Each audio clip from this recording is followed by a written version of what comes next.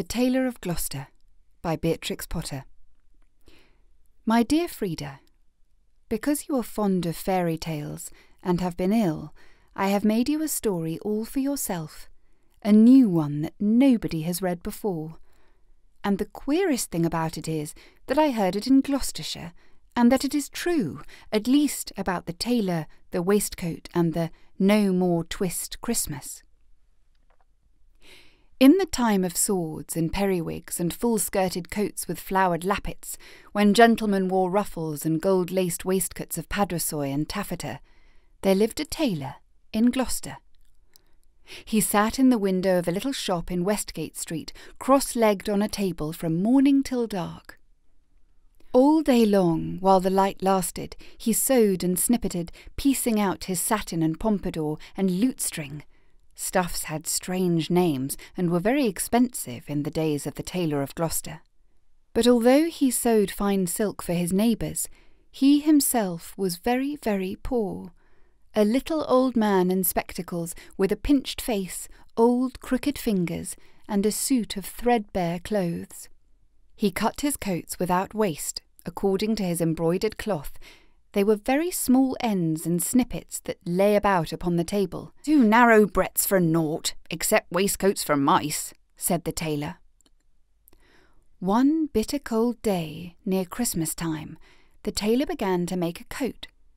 A coat of cherry coloured corded silk, embroidered with pansies and roses, and a cream coloured satin waistcoat, trimmed with gauze and green worsted chenille, for the mayor of Gloucester. The tailor worked and worked, and he talked to himself. He measured the silk and turned it round and round, and trimmed it into shape with his shears. The table was all littered with cherry coloured snippets. No breadth at all, and cut on the cross.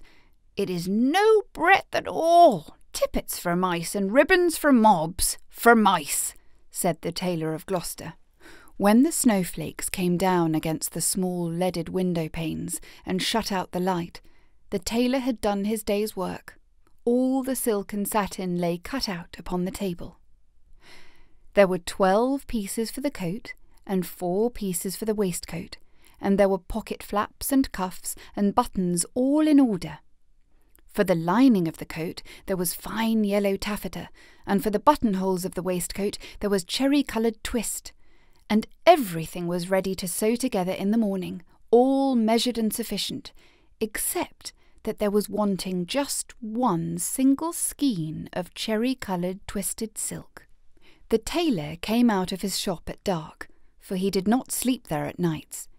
He fastened the window and locked the door and took away the key.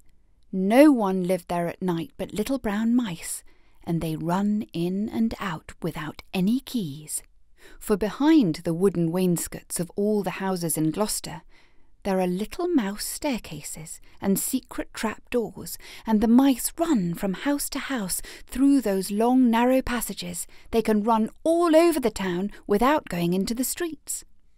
But the tailor came out of his shop and shuffled home through the snow.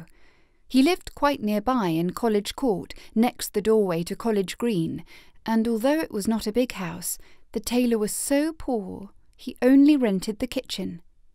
He lived alone with his cat. It was called Simpkin. Now, all day long while the tailor was out at work, Simpkin kept house by himself, and he also was fond of the mice, though he gave them no satin for coats. Meow, said the cat when the tailor opened the door.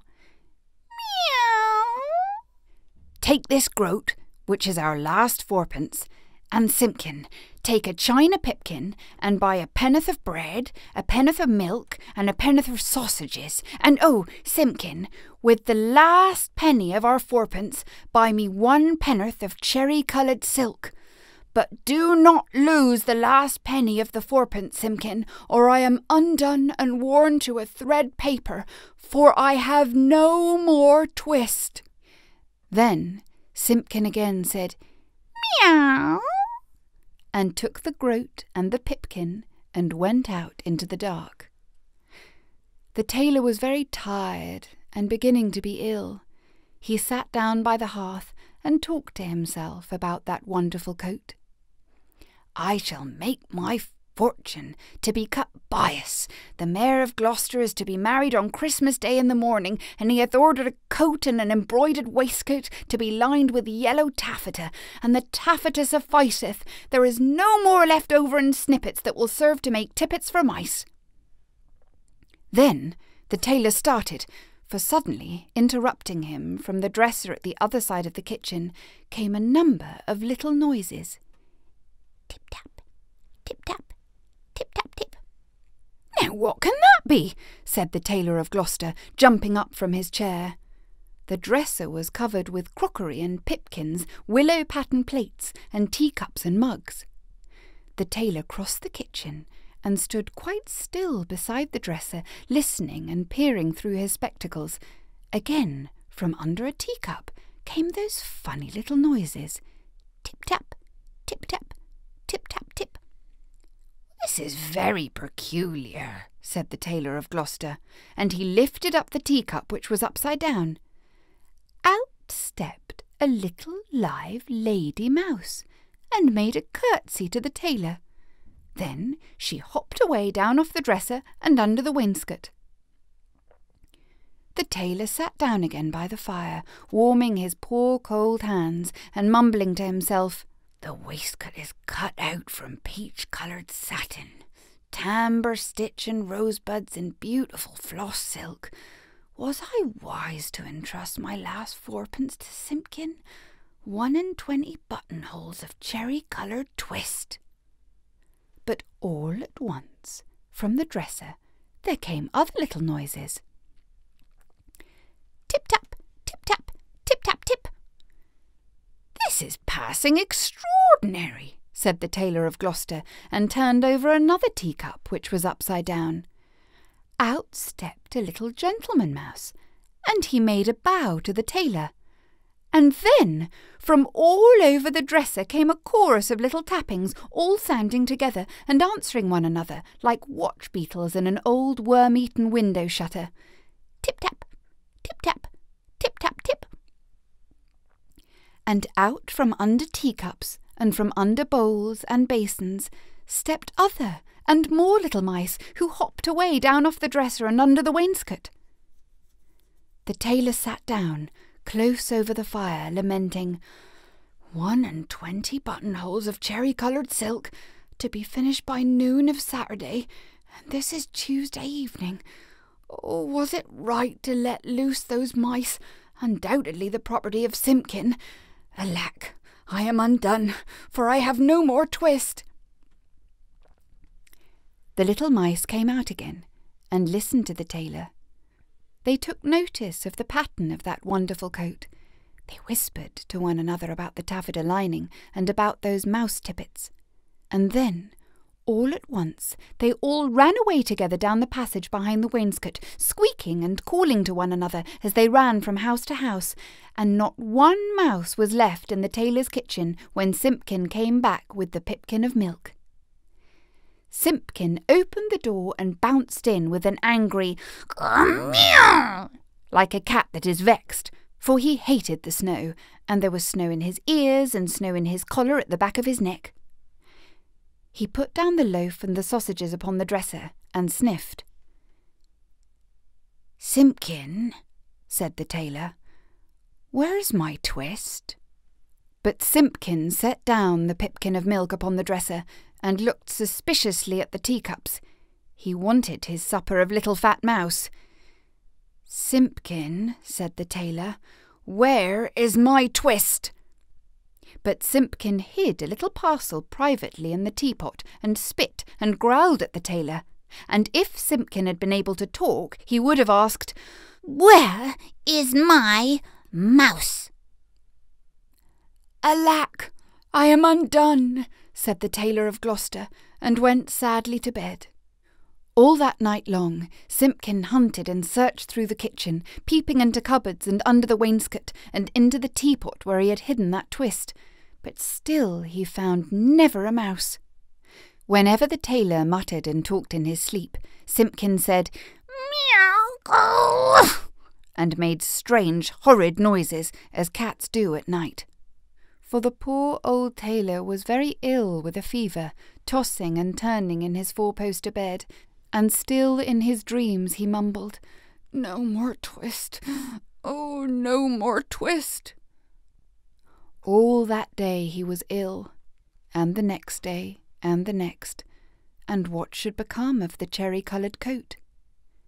In the tailor's shop in Westgate Street, the embroidered silk and satin lay cut out upon the table, one and twenty buttonholes, and who should come and sew them when the window was barred and the door was fast locked?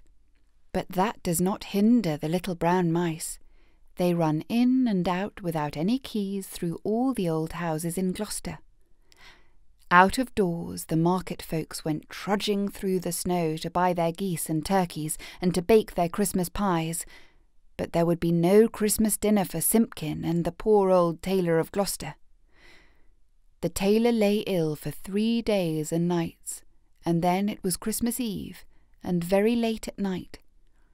The moon climbed up over the roofs and chimneys and looked down over the gateway into College Court.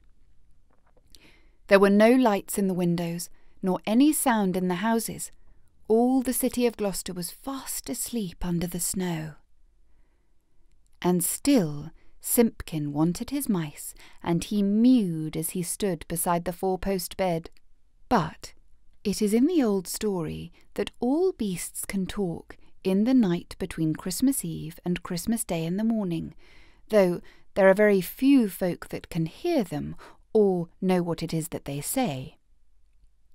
When the cathedral clock struck twelve, there was an answer, like an echo of chimes, and Simpkin heard it, and came out of the tailor's door, and wandered about in the snow. From all the roofs and gables and old wooden houses in Gloucester came a thousand merry voices singing the old Christmas rhymes, all the old songs that ever I heard of, and some that I don't know, like Whittington's bells. First and loudest the cocks cried out, Dame, get up and bake your pies. Oh, dilly, dilly, dilly, sighed Simpkin. And now, in a garret, there were lights and sounds of dancing, and cats came from over the way. Hey diddle diddle, the cat and the fiddle, all the cats in Gloucester, except me, said Simpkin. Under the wooden eaves, the starlings and sparrows sang of Christmas pies, the jackdaws woke up in the cathedral tower, and although it was the middle of the night, the throstles and robins sang. The air was quite full of little twittering tunes, but it was all rather provoking to poor hungry Simpkin. Particularly, he was vexed with some little shrill voices from behind a wooden lattice, I think they were bats, because they always have very small voices, especially in a black frost when they talk in their sleep, like the Tailor of Gloucester. They said something mysterious that sounded like, Buzz, quoth the blue fly, hum, quoth the bee, buzz and hum they cry, and so do we. And Simpkin went away shaking his ears as if he had a bee in his bonnet. From the tailor's shop in Westgate, came a glow of light, and when Simpkin crept up to peep in at the window it was full of candles. There was a snippeting of scissors and snappeting of thread, and little mouse voices sang loudly and gaily. Four and twenty tailors went to catch a snail. The best man amongst them does not touch her tail. She put out her horns like a little kyloe cow. Run, tailors, run, or she'll have you all in now. Then, without a pause, the little mouse voices went on again. Sieve my lady's oatmeal, grind my lady's flour, put it in a chestnut, let it stand an hour. Mew, mew, interrupted Simpkin, and he scratched at the door. But the key was under the tailor's pillow. He could not get in. The little mice only laughed and tried another tune. Three little mice sat down to spin. Pussy passed by and she peeped in. What are you at, my fine little men? Making coats for gentlemen. Shall I come in and cut off your threads? Oh no, Miss Pussy, you'd bite off our heads. Mew! Mew! cried Simpkin. Hey, diddle dinkety, answered the little mice. Hey, diddle dinkety, poppety pet. The merchants of London they wear scarlet, silk in the collar and gold in the hem, so merrily march the merchantmen. They clicked their thimbles to march the time, but none of the songs pleased Simpkin. He sniffed and mewed at the door of the shop. And then I bought a pipkin and a popkin, a slipkin and a slopkin, all for one farthing, and upon a kitchen dresser, added the rude little mice. Mew! Scratch! Scratch! scuffled Simpkin on the window sill, while the little mice inside sprang to their feet and all began to shout at once in little twittering voices, No more twist! No more twist! No more twist! And they barred up the window shutters and shut out Simpkin. But still, through the nicks in the shutters, he could hear the click of thimbles and little mouse voices singing, No more twist! No more twist! Simpkin came away from the shop and went home, considering in his mind he found the poor old tailor without fever, sleeping peacefully. Then Simpkin went on tiptoe and took a little parcel of silk out of the teapot and looked at it in the moonlight, and he felt quite ashamed of his badness compared with those good little mice. When the tailor awoke in the morning, the first thing which he saw upon the patchwork of quilt was a skein of cherry-coloured twist silk, and beside his bed stood the repentant Simpkin. Alack, I am worn to a ravelling, said the tailor of Gloucester, but I have my twist. The sun was shining on the snow when the tailor got up and dressed, and came out into the street with Simpkin running before him. The starlings whistled on the chimney stacks, and the throstles and robins sang, but they sang their own little noises, not the words they had sung in the night. Alack, said the tailor, I have my twist, but no more strength nor time than will serve to make me one single buttonhole, for this is Christmas Day in the morning. The Mayor of Gloucester shall be married by noon, and where is his cherry-coloured coat? He unlocked the door of the little shop in Westgate Street, and Simpkin ran in like a cat that expects something. But there were no mice there, not even one little brown mouse. The boards were swept clean. The little ends of thread and the little silk snippets were all tidied away and gone from off the floor. But upon the table, oh joy! The tailor gave a shout. There, where he had left plain cuttings of silk, there lay the most beautifulest coat and embroidered satin waistcoat that ever were worn by a mayor of Gloucester. There were roses and pansies upon the facings of the coat, and the waistcoat was worked with poppies and cornflowers.